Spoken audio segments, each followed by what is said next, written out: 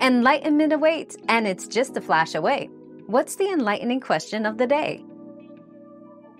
If you win the lottery in PA, you should visit the Pennsylvania Lottery's official website to verify your winning numbers and obtain detailed instructions on claiming your prize. For larger winnings, contact the nearest lottery office as soon as possible. They provide the necessary forms and guidance for claiming your prize.